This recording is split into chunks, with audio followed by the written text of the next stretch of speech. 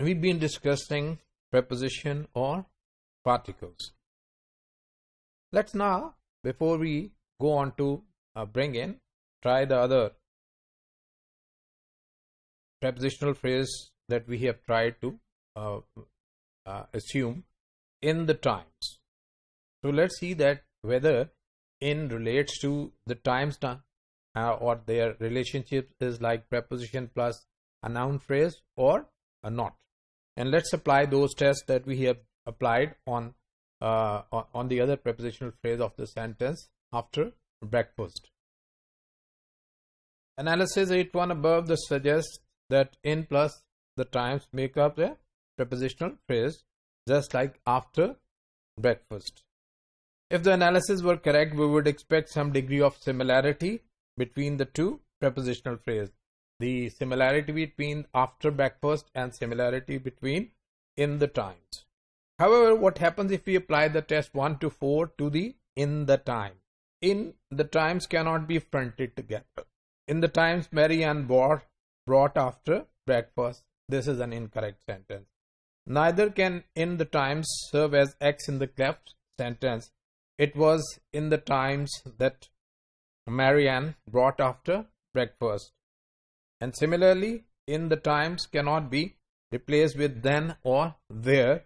Mary Ann brought then after the breakfast or there after the breakfast.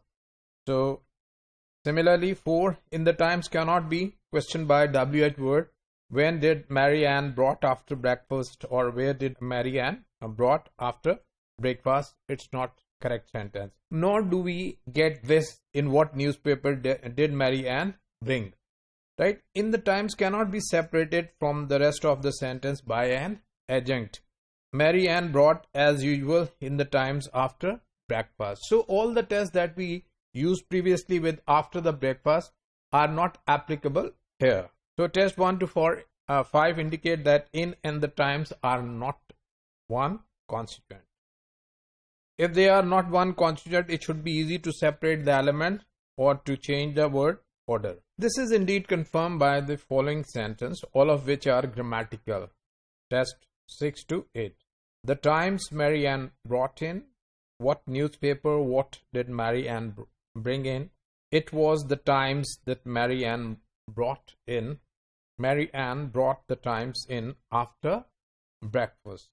So, if in remains uh, near the uh, verb bring, so all the tests applied are correct. Note, incidentally, that in must normally, normally appear in the position on the right of the object noun phrase if the noun phrase is a personal pronoun. We have talked about it previously. Mary Ann brought it in. Generally, uh, it comes after the personal uh, pronoun. Mary Ann brought in it, it will be an incorrect.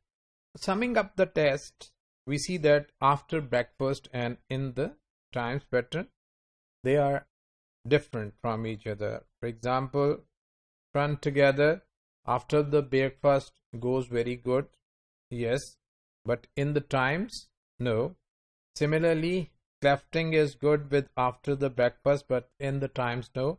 And you can see that yes, no, yes, no. So you can easily tell that which of the test is applicable to after the breakfast and makes it a correct sentence and which of the test applied to in the times and makes it an incorrect sentence.